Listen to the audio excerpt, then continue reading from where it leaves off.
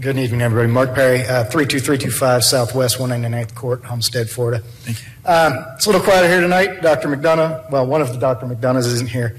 Um, I hate that I'm standing up here. Uh, this city council, the city does a lot of good stuff. The police department does a lot of good stuff. I'm sure there's a lot of great officers in this department. Um, you've silenced Eric, at least in this forum for now.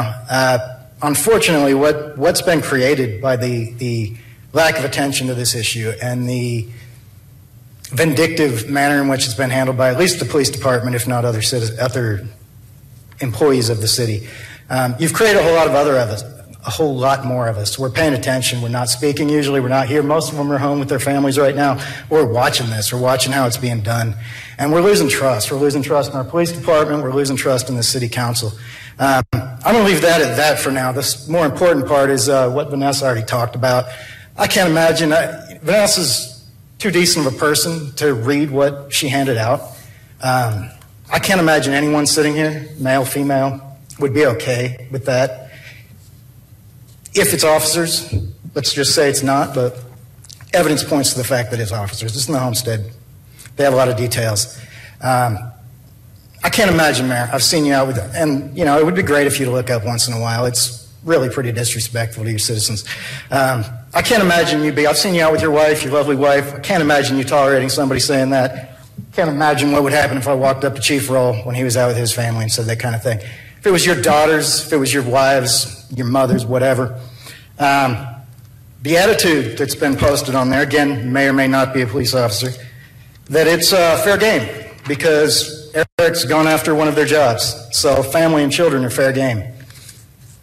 If I go out and shoot an officer, does that mean I should expect that they go to my house, kick in the door, shoot my children, kill my dog, kill my wife? It's a horrible attitude. It's not what we expect from public servants. It's not, we hold officers to a higher standard. I get it when somebody gets mad, they do stupid things. We don't expect that from officers.